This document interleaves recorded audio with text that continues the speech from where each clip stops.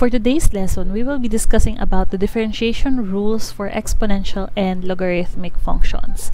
So we will just continue the discussion about derivatives. So this time we will be focusing with exponential and logarithmic functions.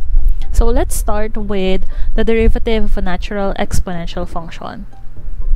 The natural exponential function is an exponential function whose base is the natural number e. So we discussed already what is a natural number.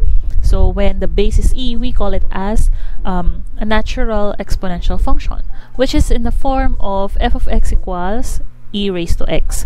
So its derivative is given by d over dx of e raised to x is equal to e raised to x. So the derivative of e raised to x is e raised to x also. This is only true if the exponent of our function is x. But if it's not x, then we will be using um, another form or we will be following a different way on getting the derivative. But if it's just the natural number and then the exponent is x, then its derivative will be e raised to x. Now, for the derivative of a general exponential function, let's say the base is not a natural number. So, an exponential function is a function of the form f of x equals a raised to x. So, this time, uh, the base is a, so it can be any number or any term. And then, the exponent is also x. So, in this function, a is greater than 0 and a is not equal to 1. Its derivative is given by, so we have d over dx of a raised to x is equal to a raised to x times ln of a. So this is only true again if the base is a or it can be any other term and then the exponent is x only. So all you have to do is to follow this form a raised to x times ln of a. So that is for the general exponential function. Now, let's try some examples. So, find the derivative of the function f of x equals 3 raised to x. So, as you can see, this one is exponential function and it follows the form of a raised to x. So, since that is a raised to x, the derivative of that of a raised to x is equal to a raised to x times ln of a. So, a here is the base, which is 3. So, therefore, if we write the derivative of that, it will be 3 raised to x times ln of a which is 3 as well.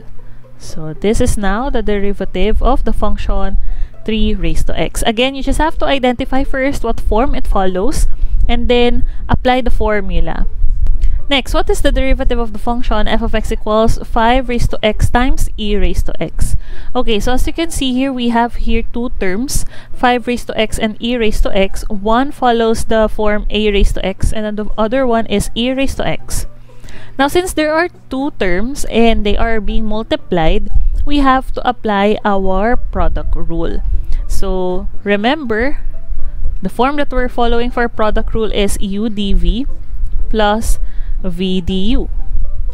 Again, we will be using the product rule since these two terms, 5 raised to x and e raised to x, are being multiplied. So, let's write here, f prime of x is equal to, then let's follow this, u is the 5 raised to x and then v is e raised to x. So, u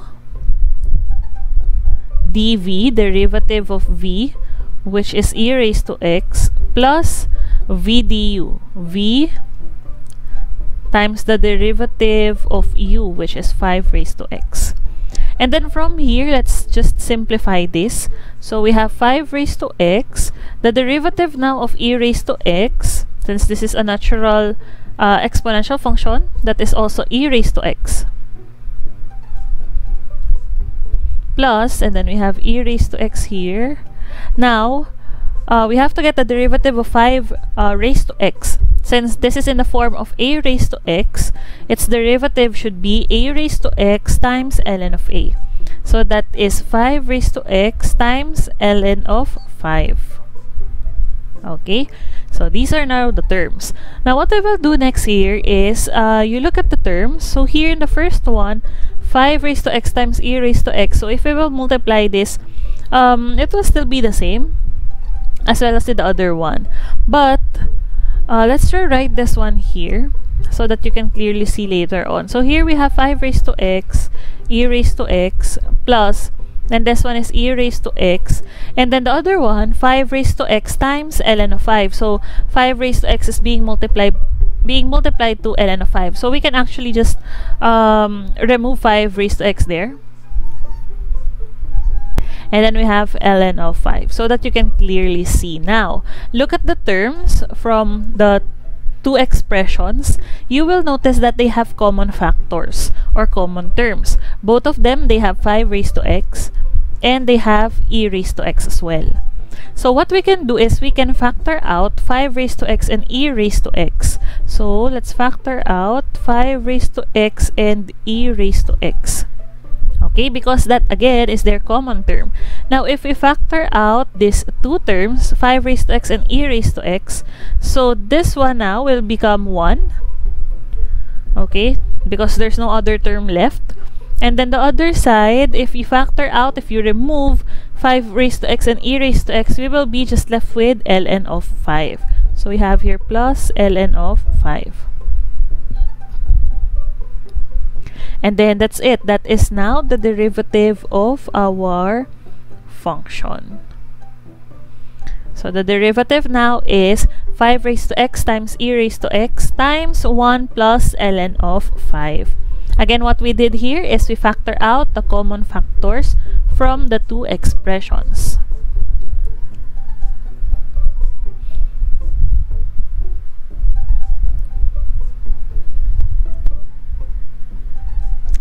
Next, find y prime given that y is equal to e raised to x minus 1 all over e raised to x plus 1. So as you can see here, we have uh, two terms that are being divided. So that means we have to use the quotient rule. So this is high, this is low. Remember our pattern, it's low d high minus high d low all over low squared. So let's apply it here. So let's write y prime is equal to low d high so we have low, d high, so derivative of high, which is e raised to x minus 1, minus high, d low, derivative of low. all over low squared.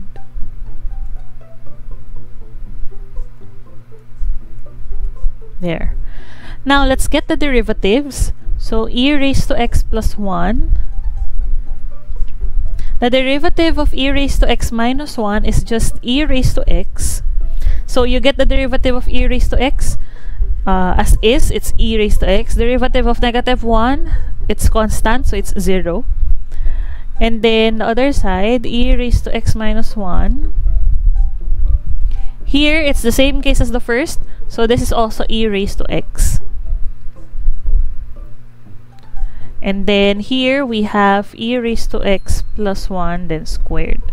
Now, what we can do here is we can multiply we can distribute e raised to x to the binomial. So, let's distribute this. Let's multiply. So, we have e um, raised to 2x. So, just take e like a variable. So, here we have e raised to x times e raised to x. That's e raised to 2x and then 1 times e raised to x so 1 so that will be plus e raised to x and then minus let's do it here also. E raised to 2x multiply and then this one. Minus e raised to x. All over. E raised to x plus 1 squared. Now from here um, since we still have the negative, what we need to do is to distribute. So distribute the negative. So we have e raised to 2x plus e raised to x minus e raised to 2x plus e raised to x all over e raised to x plus 1 squared. Now, what we will do is we will just simplify the numerator. So, as you can see, we have here um, e raised to negative so as you can see, we have here e raised to 2x. And then the other one is negative. So we can cancel that one.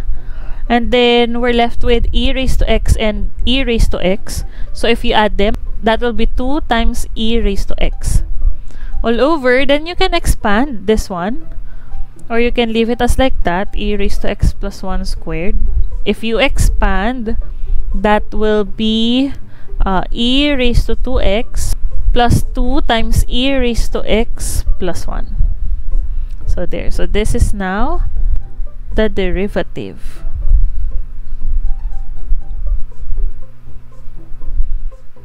Next, let's have the derivative of a natural logarithmic function. So, a natural logarithmic function is a logarithmic function whose base is the natural number e.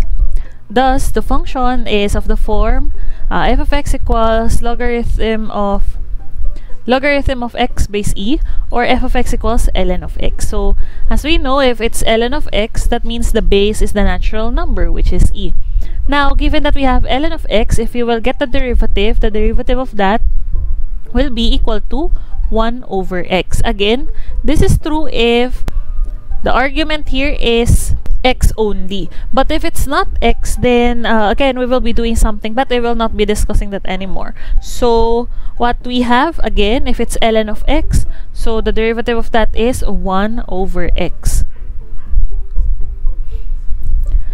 Now, for the general logarithmic function, so a logarithmic function is a function of the form f of x equals logarithm of x base a, where a is greater than 0 and a is not equal to 1 and x is any positive real number. So its derivative now is given by 1 over x times ln of a. So this is now the format that we're using. You will use this if the function given to you is a general logarithmic function. So we have the logarithm of x base a. Again, this will be true if the argument is x. So if it's different, then we have to use a different formula. But again, we will not be discussing that here. So A is the base. So you just have to follow 1 over x times ln of A. Now let's try this example. Find the derivative of the function y equals ln of x over e raised to x. Since these two are divided by one another, so that means you have to use the quotient rule. So this is high, this is our low, and then uh, let's solve this using the quotient rule. y prime is equal to low d high, low d high minus high d low, which is e of x, all over low squared, e raised to x squared. Okay, then let's simplify this. We have e raised to x ln of x. So, since this one is a natural logarithmic function, its derivative is 1 over x. Minus, and then we have ln of x. And then the derivative of e of x, or e raised to x is equal to e raised to x as well. So, we have here this one. And then the exponent will be e raised to 2x. Okay. Now, as you look at the numerator, you will notice that both of the terms, they have a common term or common factor which is e raised to x. So what we will do is we will factor out e raised to x from our numerator. So we'll have e raised to x here. And then we will be left with 1 over x minus ln of x. Again, we factor out this. So the remaining terms will be 1 over x minus ln of x all over e raised to 2x. Okay? Now, from here, you will notice that the numerator and the denominator, they both have e raised to x. So, what we can do is we can cancel out 1 e raised to x. So, take note, this denominator, e raised to 2x, that is also um, e raised to x times e raised to x. So if you expand. So that means you can cancel out 1 and then you will be left with 1 e raised to x. So it will become here uh, 1 over x minus ln of x all over e raised to x. Now we have to simplify our numerator. Since this one is a fraction, so there's a fraction inside a fraction, so we have to simplify it. So what we will do is, first, you have to write the numerator as 1, as one uh, fraction. So that means their denominators should be both x. So you write x, x here, 1 minus. Now you have to rewrite ln of x as a fraction wherein its denominator is also x. So that will be x ln of x. So x is the LCD, you divide it by the denominator of ln of x which is 1 times the numerator. So that will be x times ln of x all over e raised to x. Now since they are both have the same denominator, we can write them as 1 which is 1 minus x times ln of x all over x all over e raised to x. Now that they are um, again a fraction in our numerator so to remove that to simplify we will be getting the reciprocal of the denominator and then multiply it with our numerator. So 1 minus x times ln of x all over x times the reciprocal of the denominator which is 1 over e raised to x. So if you multiply therefore our final answer should be 1 minus x times ln of x all over x times e raised to x. So this will now be the derivative of our function. So that's it for today. I hope you learned something about the derivatives of the exponential and logarithmic functions and see you next time.